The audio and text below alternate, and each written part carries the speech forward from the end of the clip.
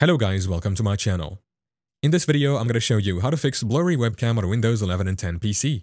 If you've been struggling with a blurry webcam on your Windows 10 or 11 PC, you're in the right place. In today's video, I'll guide you through some simple steps to fix that issue. Let's get started. First, we need to open the Settings app. You can do this by clicking on the Start menu and then selecting the gear icon for settings. Alternatively, you can press the Windows key plus I on your keyboard. Once you're in Settings, look for System on the left side and click on it. Then scroll down and click on Troubleshoot. After that, select Other Troubleshooters. This is where we can find the camera troubleshooter. In the Other Troubleshooters section, find the camera option.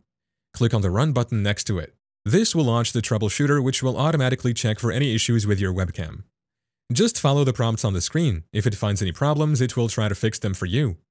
Now that we've run the troubleshooter, let's check the camera drivers. Right-click on the Start menu and select Device Manager. Here, click on Cameras to expand the section. Here you'll see a list of installed cameras. Right-click on your webcam and select Update Driver. Choose Search automatically for updated driver software. If your drivers are up to date, you might also try right-clicking again and selecting Properties.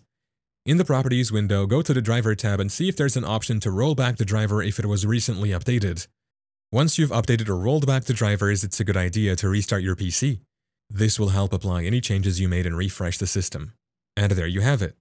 Thank you for watching. If this video was helpful, please leave a like and subscribe to my channel for more videos like this and click on that notification bell to never miss an update.